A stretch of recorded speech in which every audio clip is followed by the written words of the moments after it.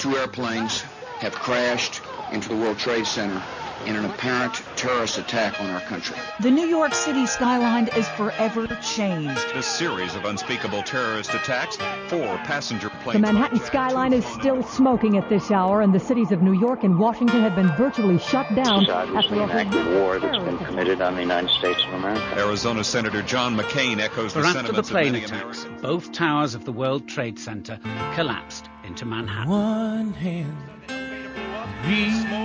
reaches out, and I dragged him out, and I helped him out to the ambulance. and pulls a lost soul from home. and it was terrible. It was it was the worst thing I ever seen in my life. While a thousand more go unspoken for. And they say, What good have you done? Used to crash into key buildings. saving Both just the World this Trade one. Center in New York. It's like whispering a As prayer commuters were on their way to in work the this morning. fury of a storm, and I hear them say, Big explosion. People started running. It was just You'll chaos. never change. First one went off, and then 10 minutes later, it just blew up out of nowhere. And no matter what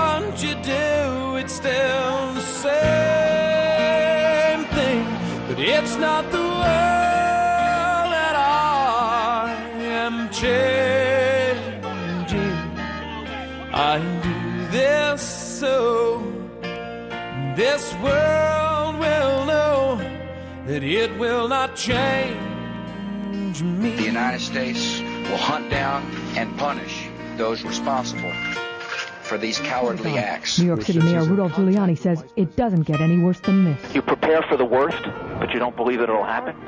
And this is the worst. The president is going to chair a National Security Council meeting by teleconference. The attacks have shut down. Oh my God, a plane just flew into the World Trade Center. Your federal government continues to function effectively. continuing to bill. It's getting black and blacker. Oh my God! I don't believe it. It's it's spreading so fast. Debris is falling off the building as I speak. Two hijacked airliners slammed into the World Trade Center in New York. This heart still mercy still exist. While all the hatreds rage, and so many say that love is all but pointless, and madness such as this. It's like trying to stop a fire with the moisture from a kiss, and I hear them saying, You'll never change things, and no matter what you do, it's still the same thing, but it's not the world that I am changing. I do this so this world will know that it will not change As soon as I just came out of the uh, of the train station, I saw the blast. There were some people hurt. All the debris was hitting As people. long as one heart still holds on, then hope is never really A gone. series of unspeakable terrorist attacks,